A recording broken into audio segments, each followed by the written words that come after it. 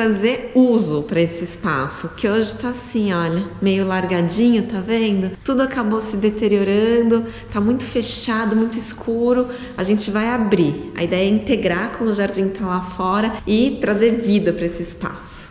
Olha que surpresa maravilhosa que a gente achou embaixo daquele forro. Tá vendo essas tesouras de madeira? Olha que coisa mais linda. Esse forro não.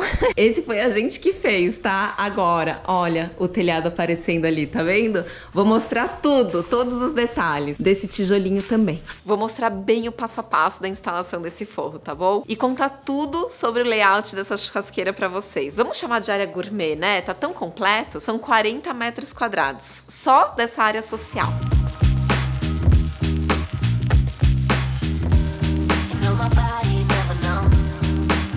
Amo quando a gente encontra um tesouro escondido assim na obra. Obra antiga é muito comum a gente precisar investigar o que tem por ali. Porque muitas vezes a gente não tem projeto com muitas informações, a gente precisa mesmo cavucar a parede, arrancar o forro para descobrir o que tem praticamente pronta, né?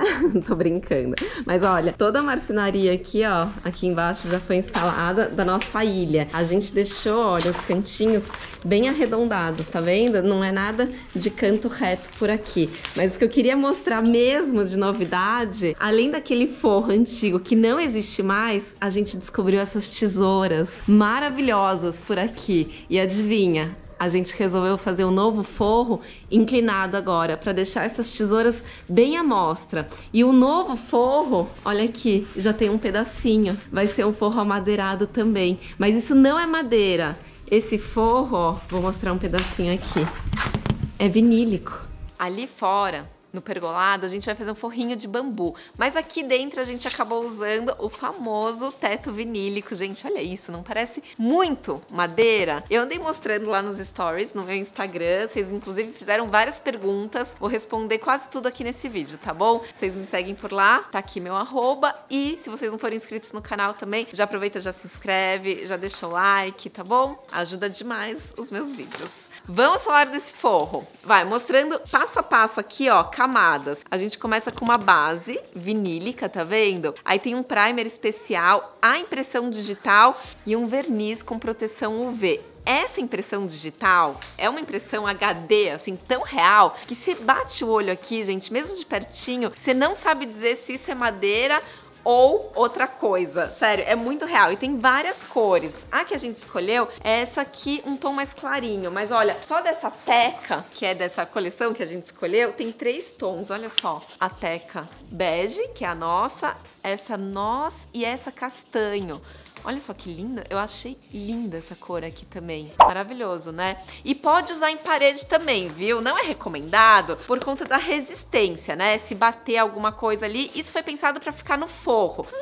Nós arquitetos, né, engenheiros, designers, a gente gosta de inventar moda, então já vi gente usando na parede também, tá? Apesar deles não recomendarem. Olha os cinzas, gente. Parece um concreto isso daqui. Não parece muito uma forma de concreto, olha só, imagina o peso, né? Se você for fazer um forro de concreto e o trabalho também. Isso aqui é instalado muito rápido. Eles fizeram tudo isso aqui em quatro dias. Na verdade, eles não. Ele foi um rapaz só. Tá dando mais trabalho porque a gente tem muito recorte. Quer ver? Deixa eu levantar a câmera. Olha só, a gente tem um monte de recortezinho, tá vendo? Eu vou mostrar mais de perto para vocês verem. Mas a instalação é bem rápida mesmo.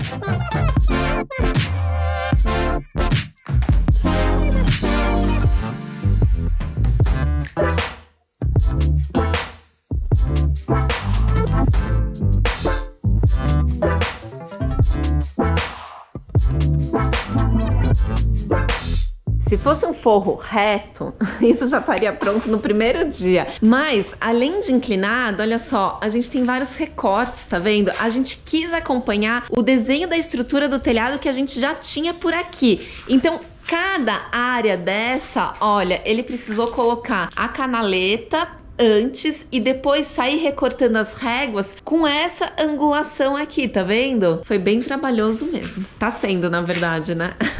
Não acabou ainda.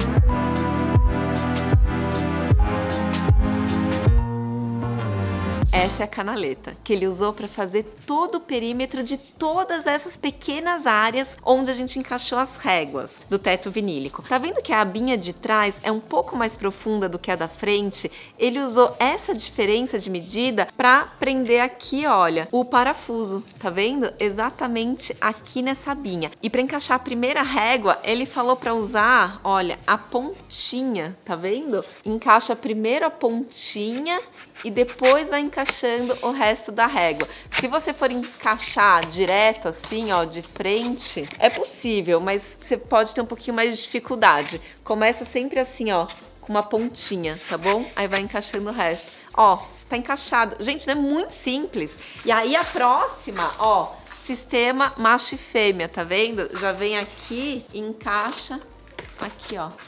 Ó, vou fazer ao vivo aqui pra vocês. Pronto, tá encaixado. Para prender um pouco mais, para deixar mais seguro, ele acabou colocando um outro parafusinho em cada régua, nessa abinha maior aqui também. Vocês repararam, olha, esse lado aqui, a abinha é um pouco menor do que esse lado daqui. E é exatamente nessa aba maior que ele colocou o parafuso ali também, tá bom? Para ajudar a fixar mais. E aí depois do parafuso é que ele pegou a segunda régua e encaixou aqui. E aí, de novo, parafuso na binha maior.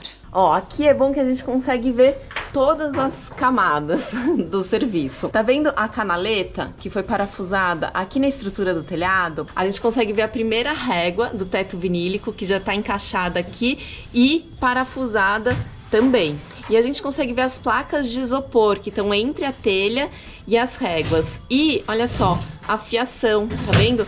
Isso daqui já tá na posição correta do projeto luminotécnico. É bom já deixar pronto, porque depois do forro pronto, fazer elétrica, iluminação vai ser bem complicado. E aí os meninos que estão fazendo aqui o forro, eles furam o EPS, furam a régua e deixam o pontinho no lugar certo.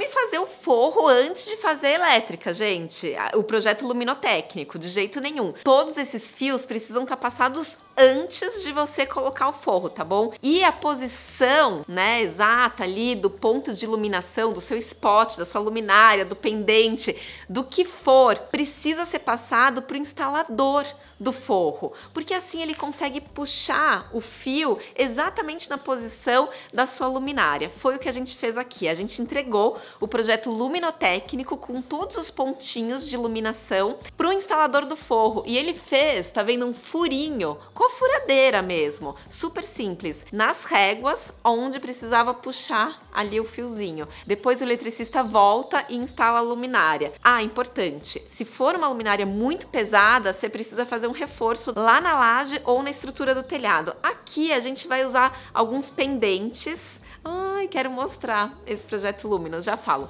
A gente vai usar esses pendentes que não são muito pesados. A gente vai colocar ali uma buchinha de drywall, sabe daquela que abre e acaba fazendo assim uma abraçadeira? Vocês conseguem perceber que os pontos, olha só, esses cabinhos que vocês estão vendo aqui de elétrica são os pontos de iluminação. Vocês conseguem perceber que eles estão bem alinhados?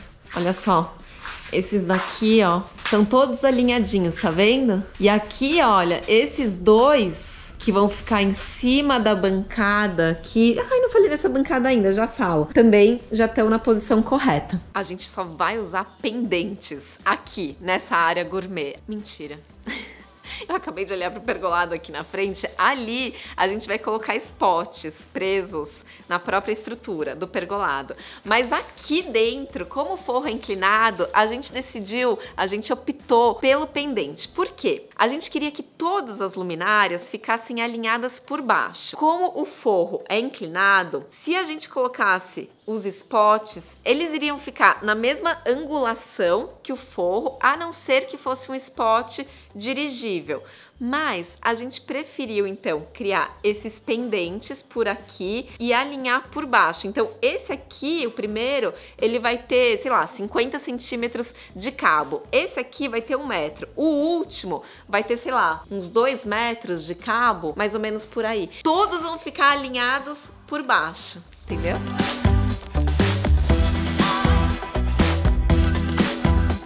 Eu falo, gente, que viajar faz bem pra gente se inspirar. Não vejo a hora de poder voltar a viajar. Eu fui para um hotel e eu vi um forro assim de madeira inclinadinho. Eu até andei postando nos meus stories, não sei se vocês lembram. Me conta quem viu esses stories. Eu tava num chalezinho lindo em Campos de Jordão com os meus filhos e lá tinha esses pendentes num forro inclinado. Minha inspiração foi de lá.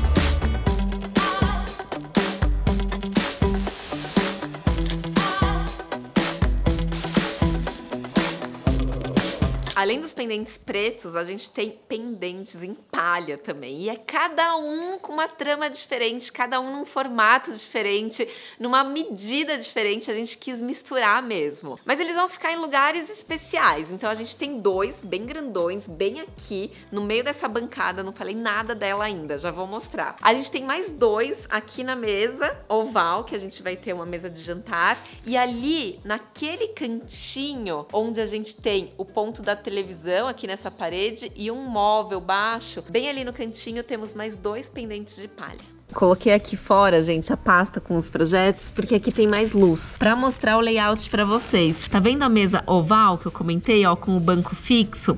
E aqui a bancada vai receber uma pedra com esse mesmo desenho da marcenaria, tá vendo? Por aqui a gente vai ter banquetas, olha, ao redor desse círculo. Exatamente aqui tá vendo? Vai entrar bancada de pedra, claro, muito maior que essa marcenaria para conseguir colocar as pernas aqui embaixo, ó. As banquetinhas vão ficar por aqui, ó. Não na frente dessas portas, vão ficar exatamente aqui.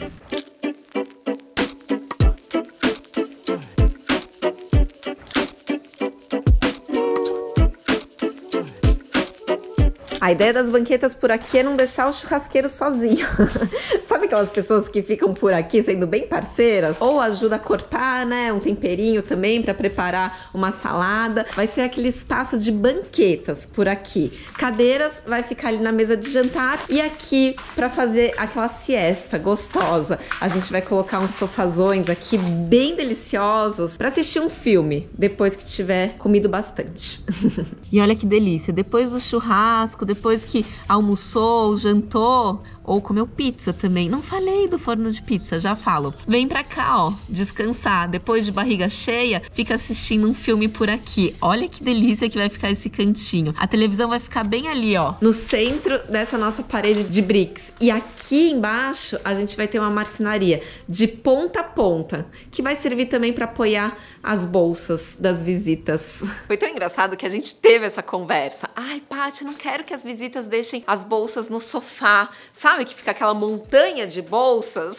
Então a gente pensou exatamente nessa marcenaria super alongada para servir de apoio também, um aparador, uma chapelaria. A gente até tinha pensado numa chapelaria mesmo, ali, né? Deixa eu virar a câmera para vocês aqui na frente, ó, logo na entrada. Mas a gente acabou encaixando ali forno de pizza.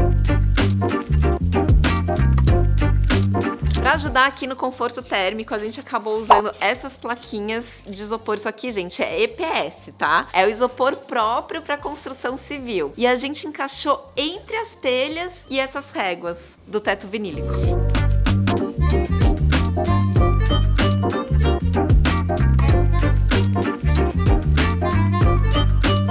A gente não vai ter porta, tá? Aqui vai ficar aberto porque aqui, ó, já vem para um jardim super gostoso. A gente vai ter na verdade um toldo por aqui. Ah, acabei não falando, né, do beral, ó. Tô com um pedacinho aqui do teto vinílico. A gente vai fechar todo esse beral com o mesmo forro que a gente está usando aqui dentro, tá bom? Ele é indicado para áreas internas, mas ali a gente tem a proteção do telhado do mesmo jeito que a gente tem aqui dentro. Então a gente vai fazer esse beral também, completinho.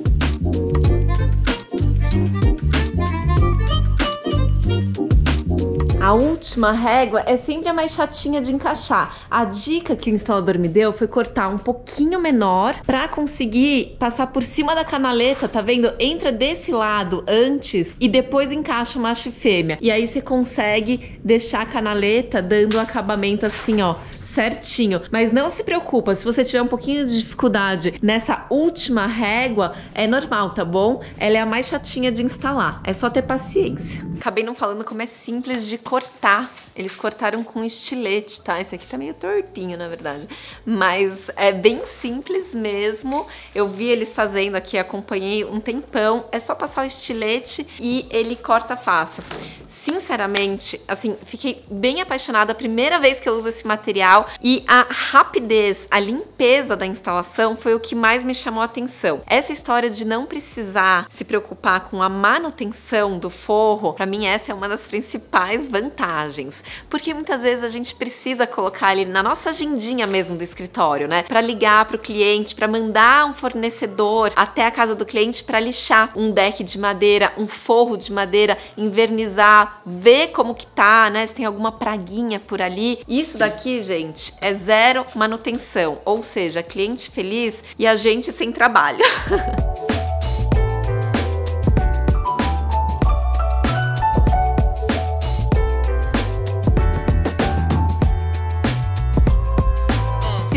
caso alguma telha sair do lugar, algum gatinho passar por aí, se empolgar e vazar água quando chover, não tem problema. Ele é sim resistente à água. Peguei esse aqui que eu não tinha mostrado ainda, olha.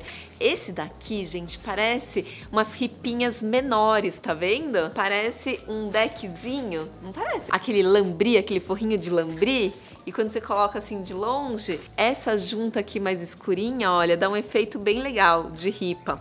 Mas a régua tem 20 centímetros também, como todas as outras, e 6 metros de comprimento. Elas são enormes. Caso o seu vão seja maior que 6 metros, como aqui no nosso caso, esse pedaço aqui a gente acabou pegando as réguas inteiras. A gente precisou fazer uma emenda. E não tem problema nenhum. A única coisa que eu sugiro é você não fazer sempre a emenda no mesmo lugar. Vai alternando, tá? Então, uma emenda tá aqui, aí daqui a pouco você corta a régua um pouquinho maior ou menor e deixa a emenda longe, sabe? Vai fazendo um joguinho ali com essas emendas, tá? Para não ficar uma linha reta de emenda, fica melhor.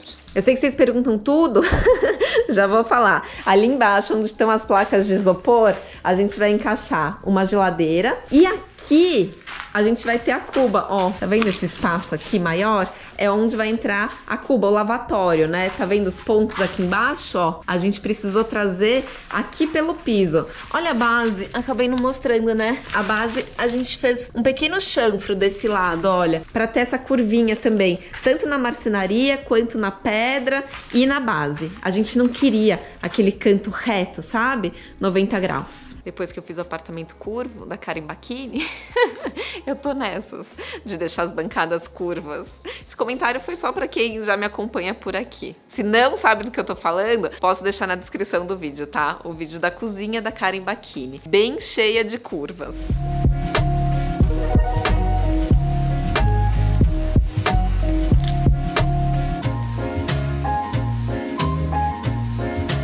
Questão muito importante que eu levo muito em conta nas minhas obras é a segurança. Esse produto é anti-chamas. Em caso de incêndio, ele não tem uma fumaça tóxica e nem propaga chamas. Isso para mim faz toda a diferença. Quanto custa? Entre 70 e 120 reais, depende da coleção. A mão de obra também pode variar um pouquinho, tá bom? É bem parecido com o valor do forro de gesso acartonado, né? Pelo menos aqui em São Paulo tá nessa média. A gente fez uma boa vistoria nesse madeiramento, algumas peças a gente precisou trocar e a gente ainda vai lixar e passar um verniz para deixar ele bem lindão, tá bom? Vamos entrar com verniz também aqui, ó, nessas paredes de brick, tá vendo? Porque ele é muito muito, muito poroso, gente. Qualquer gordura aqui da churrasqueira, já falo, tá? Dessa churrasqueira linda, tem uma parrilha aqui também.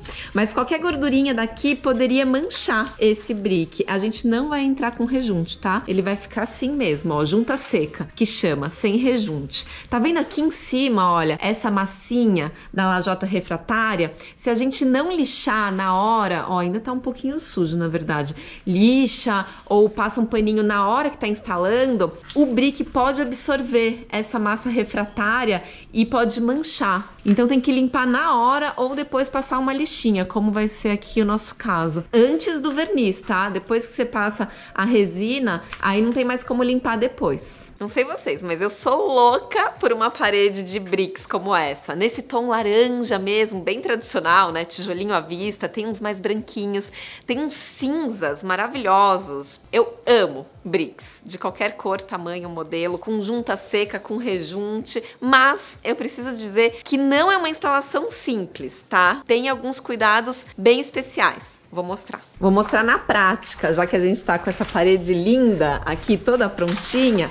Vocês estão vendo como se fosse uma ilha aqui, ó? Uma ilha que eu chamo é uma área de bricks mais escurinhos, tá vendo? Tem uma concentração de bricks da mesma cor aqui. E vocês estão vendo que logo ao lado a gente tem uma outra ilha de bricks mais clarinhos por aqui. O que, que aconteceu? Não misturaram uma caixa com a outra. Dá trabalho, mas faz toda a diferença, pode acreditar. Assim que chegarem os seus bricks na sua casa, olha só, a diferença de cores. Sai abrindo as caixas de brick para fazer essa seleção, tá bom? Os bricks mais clarinhos, dos bricks mais escurinhos. Pega também os bricks quebrados. Olha só, é super comum, tá? Vir um ou outro quebradinho, mas não sai jogando fora não, porque você pode usar para recorte no final da parede. Inclusive esses, olha, que tem a pontinha quebrada também, assim nem parece que vai dar defeito, né? Mas a hora que você coloca na parede, dá a maior diferença. Tá vendo? Fica um buraquinho ali e não fica legal. Mas você pode aproveitar esses também para recorte. Ok, você fez toda essa seleção, aí você começa a misturar. Já que você abriu todas as... É, eles são frágeis, tá? Acabou de cair, ó, quebrou, tá vendo? Em três pedacinhos. Acontece, gente. Por isso também que você precisa calcular a perda. Mas voltando aonde eu estava. Você abriu as caixas e você agrupou por cores, né? Você viu que naquelas três primeiras caixas, os bricks eram todos assim, mais escuros. Nas quatro caixas seguintes, você viu que eles eram mais clarinhos. Ao invés de instalar todos os escuros de uma vez e depois todos os claros, para não ficar metade da parede clara e metade da parede escura, mistura. Vai pegando um daqui, outro dali, misturando as caixas. Por isso que eu falei, abre todas de uma vez e na hora da instalação vai pegando, tá bom? Vai misturando para ficar assim, olha, bem misturadinho, tá bom? Um outro detalhe bem especial, eu não sei se vocês vão conseguir perceber, mas tem uma certa ondinha aqui, ó, bem nessa área. Vocês conseguem notar? Aqui, ó, tá vendo que tá vindo reto? Aí aqui tem uma ondinha. Vou explicar. Agora é capricho nível hard, tá?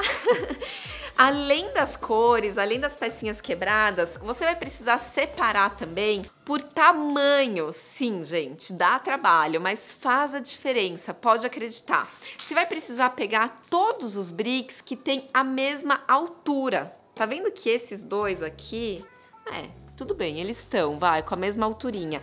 Mas se esse aqui, vai, fosse um pouco maior do que esse, tô exagerando, tá? De propósito. Se esse aqui, olha, fosse maior, né, na altura, o que, que ia acontecer? O próximo brick lá em cima ia criar uma barriguinha, né? Ele não ia ficar 100% nivelado. É claro que tem uma outra dica que é você pegar uma lixa, já que ele é super poroso, e desgastar um pouquinho o tijolo. Quando você estiver ali na instalação, vendo que está começando a formar uma onda, desgasta um pouquinho. Mas o ideal é fazer essa seleção antes, tá bom? De todas as alturas iguais. Então você pega todos que tem 7 centímetros, faz uma fiadinha, intercalando as cores. Aí você vai para a segunda fiada com aqueles que tem 7,3. Esses 3 milímetros fazem a diferença, gente. Pode acreditar em mim, tá? Eu sou chata, sou virginiana, mas eu sou realista também.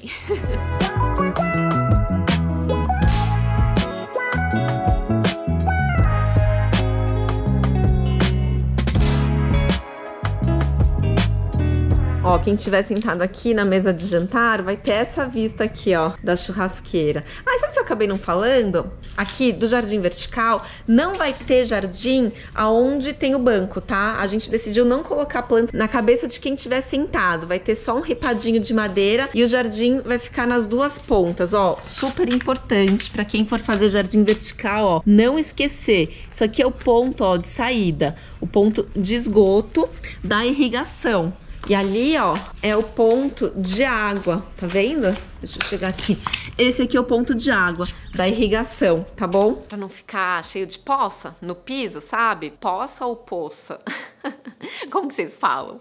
Aqui em São Paulo a gente fala poça, mas meu marido fala poça, é do Rio. Enfim, para não ficar molhado o piso depois que a irrigação estiver cuidando do seu jardim vertical, faz uma calha coletor, faz uma calha coletora, tá? Ali embaixo, para jogar ali naquele pontinho de esgoto, tá bom? Ou pode jogar para um outro jardim, super sustentável. Adoro. Como ali a gente não tem, na verdade, nas duas pontas, como aqui nas duas pontas a gente tem duas calçadas que a gente não vai mexer o piso, a gente precisou criar esse pontinho de esgoto ali. Essa coifa, ó, se vocês quiserem ver, ela é de ponta a ponta, tá? A gente mandou fazer sob medida. Se vocês quiserem mais detalhes sobre essa área, qual a churrasqueira que a gente tá usando, modelo, é, especificações aqui da parrilha também, da coifa, me pede. Aí quando eu voltar com tudo isso aqui pronto, eu posso falar mais da churrasqueira. Ai, gente, não tá ficando lindo? Modéstia à parte, tô adorando. A gente já tá nos finalmente e assim que ficar pronto, eu posso voltar para fazer um vídeo completíssimo, mostrando já assim o lacinho de fita. Me pede, tá? Se vocês quiserem, vou adorar voltar aqui. A gente tá fazendo a cozinha dessa casa também. Vai ser uma transformação absurda, vocês não têm ideia. Cozinha super antiga, enfim, outros vídeos, tá bom? Me fala se vocês gostaram desse, se inscreve no canal. Um beijo, valeu, tchau!